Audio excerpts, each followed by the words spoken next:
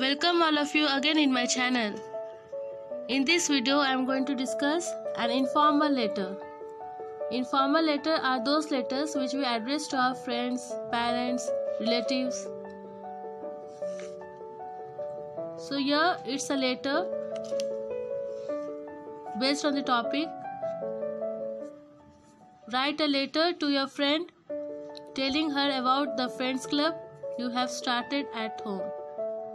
आप एक लेटर, यानी खत, अपने दोस्त को लिखने वाली हैं और उन्हें बताएँगी फ्रेंड्स क्लब के बारे में जो आपने अपने घर में शुरू की है।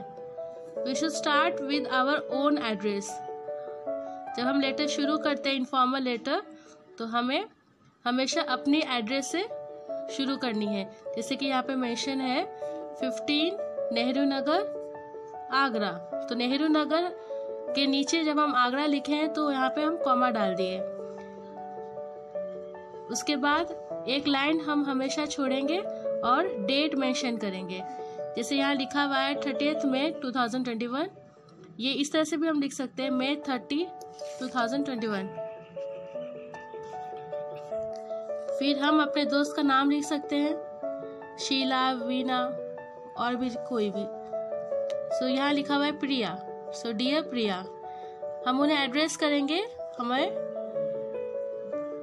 प्यारा के थ्रू सो so, प्यारा यानी डियर क्योंकि हम यहाँ पे रेस्पेक्टेड यूज़ नहीं कर सकते क्योंकि ये इनफॉर्मल है। तो यहाँ पे आप फिर अगेन एक लाइन छोड़ेंगी। जैसे कि एड्रेस के बाद एक लाइन छोड़ा गया फिर डेट के बाद फिर डियर प्रिया उसके बाद।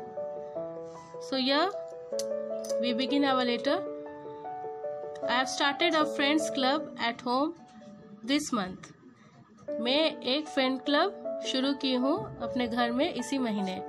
उसके बाद जो हमें उनको बताना है इन द इंट्रोडक्शन फॉर्म वो हम बता सकते हैं।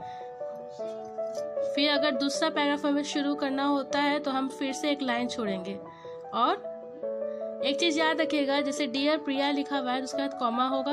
उसके बाद जब एक लाइन छोड़ते हैं तो डियर के नीचे हम आई लिख सकते हैं। चाहेंगे तो हम प्रिया के नीचे भी आई लिख सकते हैं। लेकिन बेसिकली आजकल पैराग्राफ स्टार्ट हो रहा है with the left margin only तो वही आई के नीचे फिर डब्ल्यू हम लोग लिखेंगे वी जब हम दूसरा पैराग्राफ शुरू कर रहे हैं। We we hold a meeting this Saturday to discuss again some body part जब हमारा डेटा एंड हो जाती है हमें बहुत ज़्यादा लेंदी नहीं लिखना होता है, बहुत कम लिखना है जो हमें बताना होता है। उसके बाद जब एंड लेटर एंड हो जाती है then we should leave a line again हमें एक लाइन छोड़ना होता है। Yours loving friend Sakshi. आप अपना नाम लिख सकते हैं, जो भी आपका नाम है। Yours loving friend yours affectionate friend इस तरह से हम उसको उनको एड्रेस कर सकते हैं।